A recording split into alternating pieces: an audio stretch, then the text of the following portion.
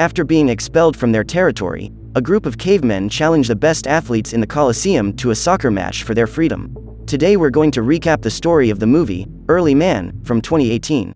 In Earth's prehistory, humans fight over food when the asteroid that wiped out the dinosaurs falls to Earth, sweeping everyone away.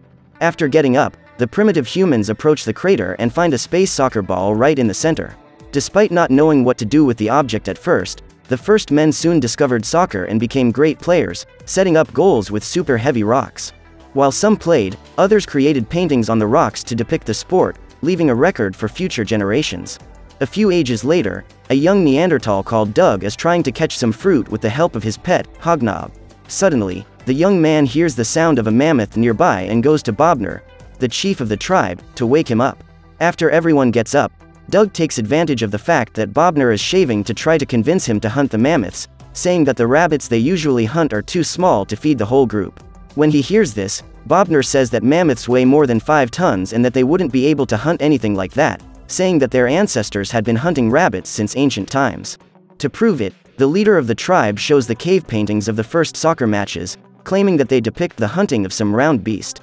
Bobnar then says he'll think about the mammoths and starts handing out spears to everyone, making the final preparations before searching for food in the valley. Taking advantage of Hognob's nose, the group manages to spot a small rabbit and goes after it, cornering it so that it doesn't enter the burrow. Despite this, none of the Neanderthals are very skilled at hunting and the rabbit is only captured because it ends up crashing into a rock.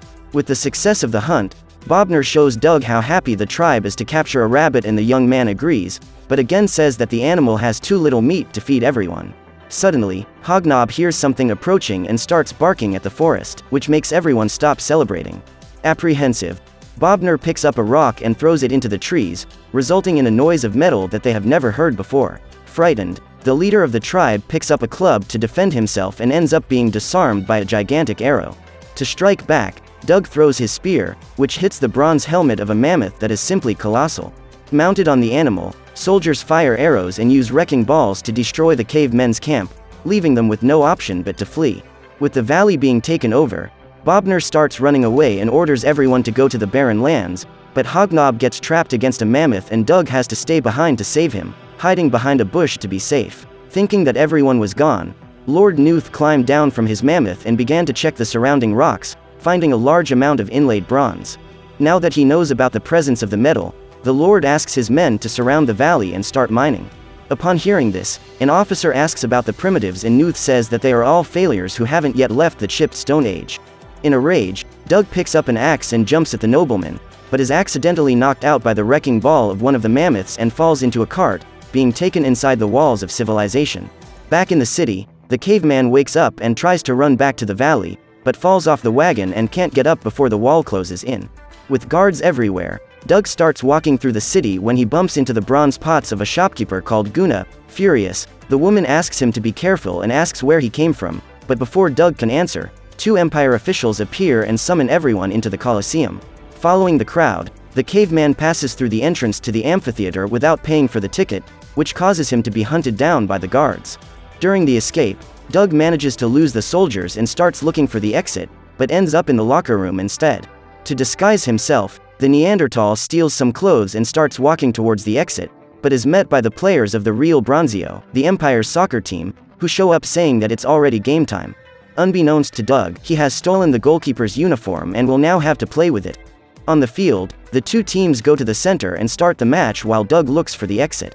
After some time searching, the young man finally manages to find the entrance to the changing room, but the other players notice him trying to get out and force him to go for goal. With no experience, the youngster picks up the ball with his hands and runs to the middle of the pitch, which ends up giving the opposing team a free kick. When he shoots, the striker accidentally hits Dug's helmet, knocking him down and causing the ball to rise. As he looks up, the Neanderthal sees the sphere spinning and automatically remembers the rock paintings he saw in the valley, realizing that they didn't depict a hunt but a soccer match. Wanting to do as his ancestors did, Dug gets hold of the ball and kicks it towards goal, but as he's the goalkeeper, he ends up scoring an own goal, leaving the crowd outraged. In a rage, Jurgend, the real Bronzio captain goes to ask what Dug is doing and is interrupted by the real goalkeeper who finally appears. When he removes the impostor's helmet, Jurgen shows everyone that he is a caveman and Lord Nooth is furious, saying that primitive people could never play soccer. Then the nobleman asks why he is stepping on his sacred ground and Dug replies that it was the Lord who invaded the valley first. The Lord then says that his species has no land and that they should all be extinct by now, ordering his men to take him out and take his life. While being carried by the soldiers, Dug decides to rebel against the nobleman and punctures the ball, challenging the real Bronzio to a game of soccer. If he wins, Dug says that his people will keep the valley and that Nooth should leave his tribe alone. Confident of victory, the nobleman accepts the challenge, but says that if he loses, Dug and his group will become his servants and spend the rest of their lives working in the mines of the valley. With the big match set, the Neanderthal goes to the arid lands and explains to everyone about soccer, telling them that they will get the valley back if they beat the Emperor's team. Bobnar says he has no chance of winning and says they've never played this before, but Dug says his ancestors were great players and tells him the truth about the cave paintings. Although the chief is against the idea, everyone else is excited and Bobnar is forced to allow them to play. Even though he doesn't know much about the game, Dug sets up a soccer field with dinosaur bones and starts teaching his tribe the basic rules. As they are starting from scratch, none of them has any knowledge of how the game works and Dug has to explain the most basic things about soccer. Upon learning the objectives of the game, one of the women in the cave asks to play and punches Dug to prevent him from getting the ball. After Bobnar helps him up, the young man explains that this would be a foul and that they should focus on the ball, using only their feet to play. Even so, none of them have much motor coordination and end up kicking the soccer ball into the valley. In the Colosseum, Lord Nooth sees his athletes training and gets excited thinking about the money people will pay to see the game. While the man is talking to his assistant, a carrier pigeon arrives to reproduce Queen Oofeefa's message, showing the monarch's dissatisfaction with the soccer match. Angrily, the woman says that losing to a bunch of cavemen will be the greatest humiliation in the history of the nation and promises that she will make him regret it if that happens. Despite the message, the Lord knows that his players are professionals and doesn't seem too worried about Dug's team winning. In the arid lands, the Neanderthal young man is training his tribe to become a good team when they are attacked by a gigantic duck that starts chasing them. During the escape, no one bothers to pick up the ball which ends up being crushed by the duck, leaving them with no way to continue training. Without the object, Dug loses hope of winning the competition and becomes very discouraged, forcing Bobnar to try and motivate him. After the conversation, the young man begins to think of a solution to his problems and comes up with the idea of going to the Empire to get some spare balls. Together with Hognob, Dug passes through the city walls and breaks into the Colosseum through an open window. There, the young Neanderthal asks the pig to wait in a room and starts walking towards the warehouse, but ends up slipping on a sign and falls through the bleachers. While he's rolling, Lord Nooth hears the noise and thinks it's his masseur, saying he needs to relax and asking the half-dog half-pig to come into the bathroom.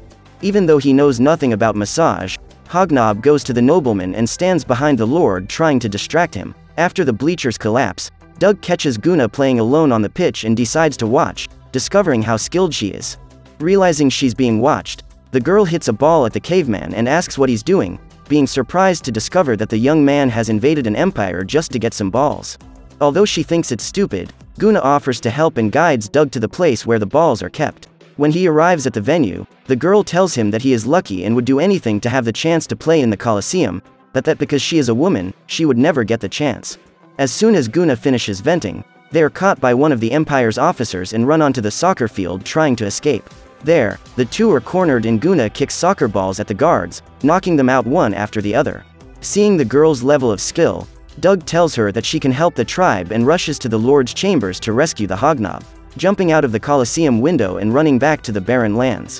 When he gets home, Dug wakes up the rest of the tribe and introduces Goona to everyone, saying that she will be part of the team. Excited to start training, the girl asks what formation they're going to use and several other questions about positioning and marking. Realizing that none of them have a clue what she's talking about, Goona tells them that they're not going to win the real bronze by just chasing the ball and takes on the role of coach, introducing each of the enemy players and their strengths.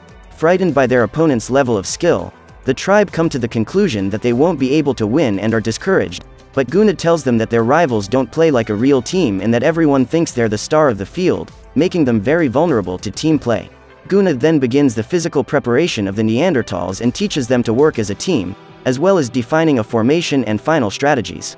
With the day of the match almost upon us, Lord Nooth discovers through cave paintings that Neanderthals played soccer long before their civilization, which leaves him totally frightened.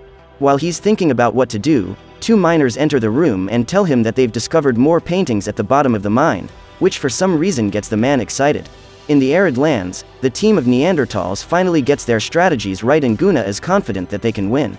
While they are practicing, one of them throws the ball near the entrance to the valley and Dug offers to pick it up. As soon as he gets away from the others, the young man is captured by some soldiers who take him to the entrance of the mine. There, Lord Nooth says he wants to introduce him to the place where he will work for the rest of his life and takes him deep into the mine, showing him the new paintings his men have found. Now that he has access to the entire history of his people, Dug discovers that his ancestors invented soccer and taught other tribes how to play, but were soon overtaken by their rivals and went on to lose every game. With no hope of winning again, Dug's people accepted that they were losers and gave up soccer for good. After the revelation, Lord Nooth says that he is willing to make an offer and that he can still save his tribe from working in the mines. To prevent his friends from suffering this fate, Dug decides to accept the Lord's deal and tells Hognob about his plans, rushing into town to surrender. In the stadium, Lord Nooth is waiting for the game to start when Queen Oofeefa shows up in person to watch the match. When he sees the monarch, the nobleman tries to hide his chest of coins and goes to greet her, but the woman doesn't fall for his sympathy and tells him that she has come personally to determine the Lord's future. Now that the queen is in the stadium, Nooth says they can start the game and calls the team of men from the cave to enter the field, but only Dug shows up. Meanwhile, Hognob takes Bobnar to the mine and shows him the paintings that Lord Nooth has discovered, convincing the chief to take the whole tribe to help Doug. Thinking he has no chance of winning, the young man gives up the game and volunteers to work in the mines alone, as well as saying in front of everyone that Lord Nooth can have the valley. Just then, the other cavemen arrive, mounted on that giant duck, who drops a poo bomb on Nooth. After landing, the rest of the tribe enters the field and Bobnar tells Dug that he shouldn't be swayed by old paintings, motivating him to fight for the valley again. Dug then challenges the real Bronzio team and the organizers start the timer, kicking off the competition. Right from the off, the cavemen manage to surprise their rivals and stole the ball, passing it around until they reach the penalty area.